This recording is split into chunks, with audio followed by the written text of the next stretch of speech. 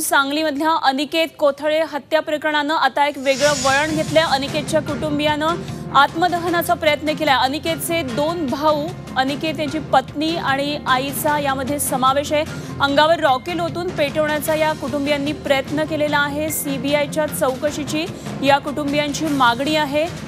अनिकेत कोथळे हत्या प्रकरणाला आता एक वेगळं वळण येण्याची शक्यता आहे. अनिकेतच्या कुटुंबियांनी सामूहिक आत्महत्या करण्याचा प्रयत्न केलाय. अंगावर रॉकेल ओतून पेटवण्याचा प्रयत्न केलाय. यामध्ये अनिकेतचे दोन भाऊ त्यांच्या पत्नी आणि आईचा समावेश आहे.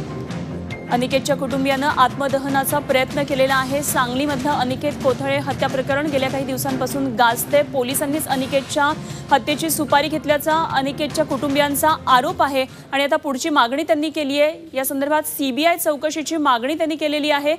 आणखी सविस्तर माहिती जाणून घेऊया आमचे प्रतिनिधी रवींद्र कांबळे. सध्या सांगलीमधून आपल्याबरोबर आहेत. रवींद्र काय नेमकी माहिती मिळतीये? अनिकेतच्या संपूर्ण कुटुंबियाने आत्मदहनाचा प्रयत्न केलाय. काय नेमकी सध्याची स्थिती आहे? आज सांगली शहर पोलीस ठाण्याच्या दारामध्ये अनिकेतचे दोन भाऊ अनिकेतची पत्नी आणि अनिकेतची आई यांनी सामूहिकरित्या आत्मदहन करण्याचा प्रयत्न केला.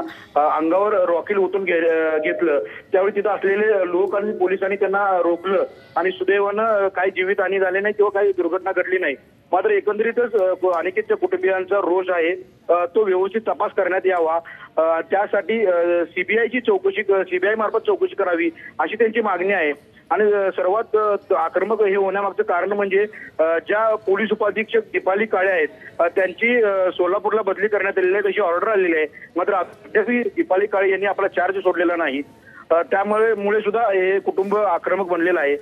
त्याच पद्धतीनं तीन ते चार दिवसापूर्वी राज्याचे मुख्यमंत्री देवेंद्र फडणवीस हे सांगली जिल्ह्याच्या दौऱ्यावर आले होते. वाळव्या इथे कार्यक्रमासाठी आले होते. अनेक नेते किंवा अनेक नेते मंत्र्यांनी अनेकेच्या कुटुंबियांना भेट दिली होती. मुख्यमंत्र्यांनी या कुटुंबाला भेट दिली न- नव्हती. मात्र ज्या दीपाली काळेंच्यावर अ, टीका टिप्पणी आरोप होतात.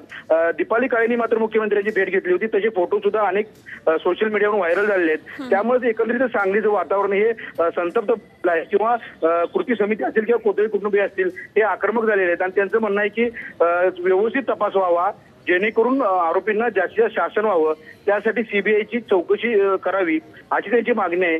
आणि या मागणीसाठी त्यांनी संतप्त होऊन पोलीस ठाण्यामध्ये पोलीस ठाण्याच्या आवार समोर आत्मदहन करण्याचा प्रयत्न केला.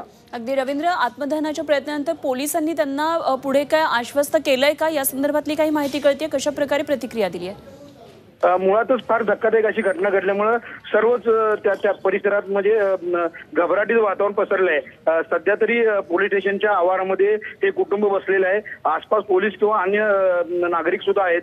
सध्या तरी त्यांना शांत करणं त्यांची समजूत घालणं हा प्र- हा प्रयत्न सुरू आहे. पण एकंदरीत ही अचानक घटना घडल्यामुळं सांगली परिसरामध्ये घबराटीचं वातावरण निर्माण झालं. ठीक आहे. रवींद्र धन्यवाद दिलेल्या या सविस्तर माहितीसाठी.